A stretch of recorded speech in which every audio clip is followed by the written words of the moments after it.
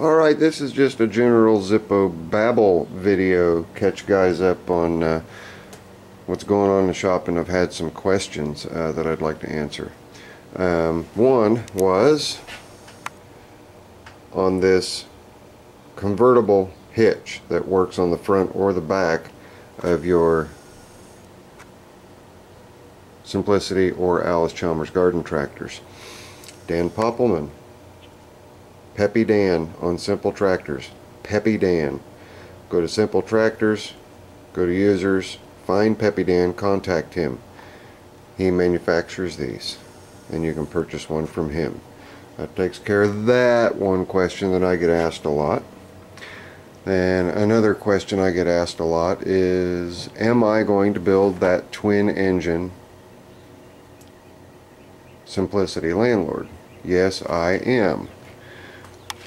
I've got one full complete inner and outer dash. Side covers here.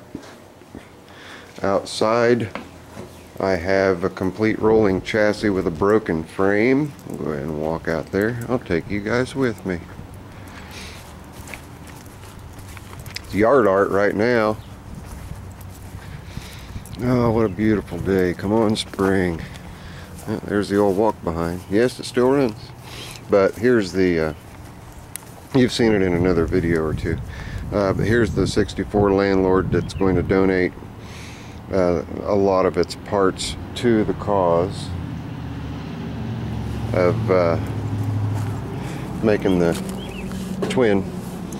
So but if you look right here that's what happens when you dump your clutch it's what happens when a 13 year old boy is playing and showing off to his friends. Which is what happened here. I'm not going to harp on that. I've harped on it enough. But um, the front of this frame is going to get cut, notched, sectioned, and widened to accommodate an engine forward of the stock position of an engine. And it's going to get welded and affixed to the front of the a, a good frame that I have. We'll take a walk around all these really big rounds of wood that I've got for uh, firewood this year. I think I'm going to do all right. Funny thing is I've got so far 28 trees on the schedule to take down. Fortunately, the majority of them are just cut from the ground and drop. Okay, where are we going? Come over here and climb up on the trailer. There is the good frame. That's going to have the engine closest to the driver mounted. And then you guys will see a B110 frame sitting here too. That B110 frame, there is the inner dash. And we'll take another walk back inside because it was another question. Hello, log splitter. Hello, old seat from Old Blue. Hello, Hydro Tranny. And that's another part of what I'm building. You'll see in here, there is a B110 or 112 hood hanging, dash, and behind the ladder is the grill frame. All the other little incidentals I've got. And I will be putting together an HB probably an HB either 115 or 116 depending on which engine I decide to put in. Got a bunch of them sitting over there. And what else is happening? People were asking if I'm leaving the 23D 9 horse in engine 44 the answer to that question is no I am not. And time is kind of flying by. I've got to get uh, I gotta get cracking on getting that engine swapped in, getting everything dialed. But what is Zippo putting in there? Well, I got the boys that uh, like to drag race at the go-to, and the go-to is uh, close again here in Indiana. A couple years ago, uh, we went up to LaPorte and went to it and had a drag race. And the old Squire with the 23D 9 horse beat two other was it just one or two? I don't remember now. I think it was two other tractors uh, that were modified for pulling. So what's going in? Well, that engine right there is going in there. what is that? Yeah, we can take a sneak peek. Nah, we're not going to take a sneak peek. Those of you who saw it close enough know exactly what it is and what it will be capable of doing. Another question is, is what engine do I have in my Garden Mark Squire? Because um, they see uh, videos on uh, older videos where there is gold showing through. Well, yes, it's a gold replacement engine. It's a later model engine, and I just have the oil bath filter on just because that's what's correct for the period. But it has a Gold Series replacement 8 horsepower in it. And old Smoky smokes like a freight train on startup. And I have to add oil just about every tank full. I'm having to add three, four, five ounces of oil. Well, why don't I just fix it? Well, about eight years ago, when I put the engine in, oh, it might not have been eight years, six years ago when I put the engine in, I knew that it smoked and I thought, well, you know what, I'm gonna run it till it blows and I'll rebuild it then because I've got all the parts for it and I just wanted to see how long the engine would last as long as I stayed on top of the oil and kept, uh, you're gonna hear a thud probably here. Nope. Um, I wanted to see how long the engine would last without me re-ringing it and either honing or boring the cylinder out and putting an oversized piston in. Well, obviously, years have gone by. This is my go-to grunt tractor that does just about everything except mows and I work it to death. I mean, I work it hard. And that engine just keeps on chugging along. So eventually it's going to blow. Um, but that's what the engine is. It is an 8 horse replacement engine from Briggs & Stratton. What else, what else, what else? Lots of questions about that seat and whether or not it is original. That is an original, new, old stock seat that I picked up unbeknownst to me when I was given a box with a bent seat pan just like this one. Um, somebody had opened the seat pan up in the dealership and opened it up too far and it kinked and creased it. Those of you guys who have uh, these styles know exactly what I'm talking about. Um, oh, not to jump subjects, but I did forget to show you guys. You might wonder, well, yeah, you've got everything for the HB 115 or 16 or whatever it is, but where's the seat pan? Yeah, the seat pan's right there.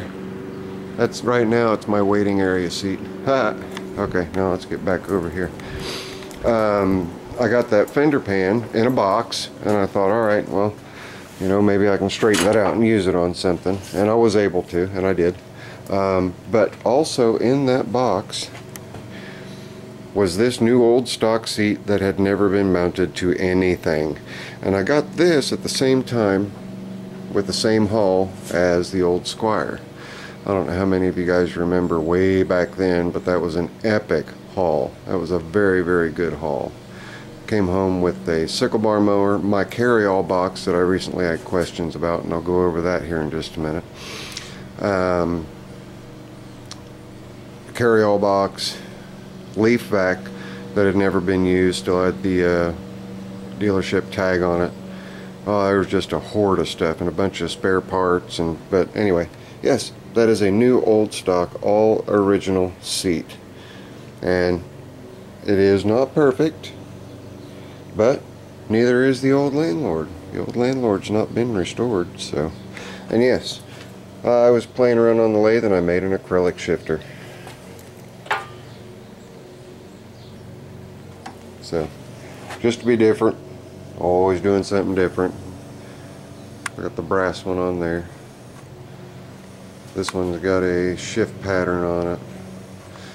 The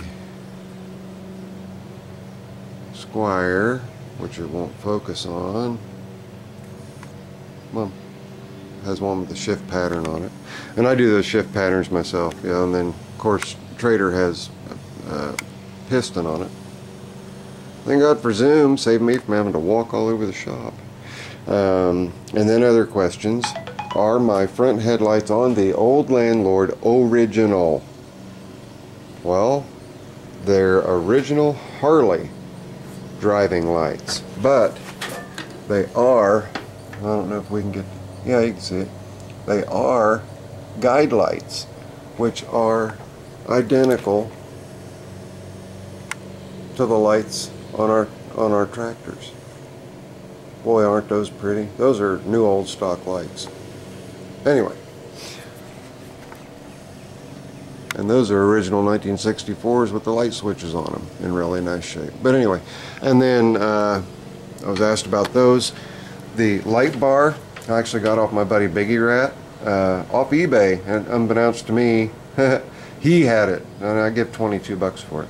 But it's such a hard, heavy chrome plating. It's either was either done a long, long, long time ago, or it is an original uh, that was on a special edition tractor or something to that effect. So then the next question that I was asked was still about the lights, and that was where did the chrome uh, bezels come from? Those are also Harley driving light takeoffs. A lot of people who own Harleys will take their stock ones off, get Frenched or customized Kuryakyn or you know some other JP Cycles. They'll order something different and they'll throw these on eBay. And you can pick these up on eBay for under 20 bucks for a set. So you can dress up your black lights, take the black rings off, put the chrome rings on. They're a direct OEM type fit. So that's that about the lights. And then the eyebrows, sorry. The eyebrows, same thing. They're Harley Davidson eyebrows. That's where the eyebrows came from. And then Mini Lord's lights are not um, guide lights. They're actually KC off-road lights that I picked up at a uh, flea market. But they're the same size and I just thought they were awesome and the price was definitely right. So I picked them up.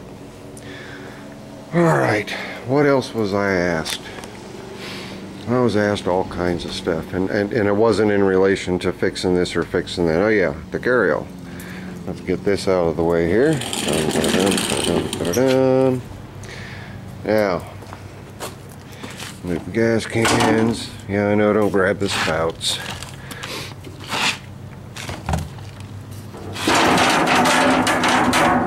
Clinkety, clinkety, clinkety, clink. You can see the new steel.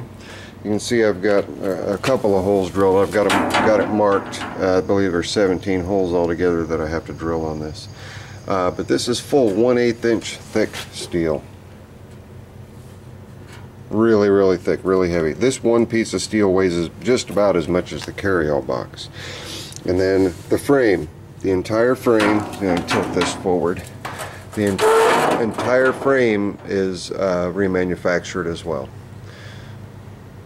All brand new stuff. And then if we look down here we'll see why I'm replacing the bottom. And if you look at this piece of steel you'll see it comes all the way up underneath the lip here. And I did that on purpose just going to make everything a lot more secure and a lot more rigid. Yes I have the tailgate and where I put it is beyond me at the, oh it's underneath everything there. Tailgate's down there. So this one had quite a bit of rust on it but the price was right so I went ahead and picked it up. So yes even though I sold my original carryall that I had uh, on the old landlord on the short video clip and a lot of the pictures that I post on Facebook um, and my buddy Brian Osengay has it as a matter of fact.